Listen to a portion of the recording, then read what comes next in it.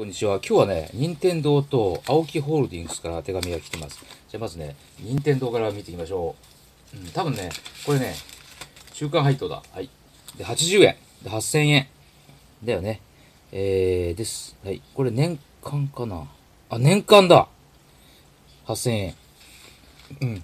株価がね、70万ぐらいなのに8000円って低いよね。2%いってない。でね、やっぱりね、これいいよね。マリオ。マリオいいよ。得だよ、これね。このキャラクターね。で、業績。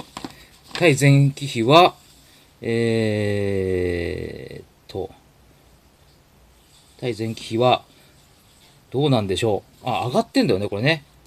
こっち期末だもんね。期末だもんね。上がってるね。右肩上がりですよ。あ、びっくりした。はい。えー、で、えー新型出してほしいよね。はい。ゼルダの伝説が、めっちゃ今売れてるらしい。うん、ということ。まあ、これがね、えっ、と、任天堂でした。はい。それと、次が、えっ、とね、青木ホールディングス。はい。週間決算関係ですね。はい。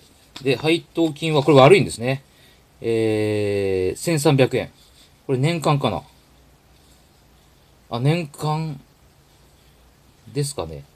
まあまあ、まあまあね、これね、楽しいのが、この優待券ね。はい。優待券。スーツが安く買える。うん。20%オフ。ね。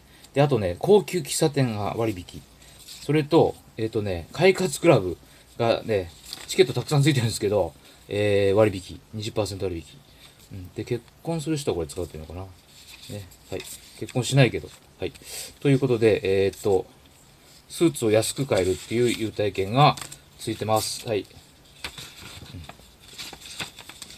それと、これは、私の優待袋に入れていきましょう。で、ここに、これね、青木ホールディングスね、オンラインショップの優待券。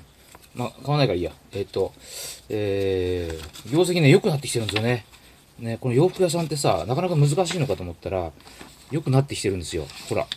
ね。ほら、黒字。うん。で、例のね、あのーパジャマスーツがすごい爆発的に売れたっていうこと。ね。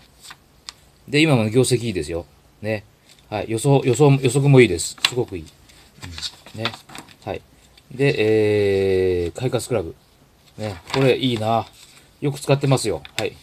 ね。はい。まあ、いい結果です。はい。では、この2社の中間決算の報告書でした。以上です。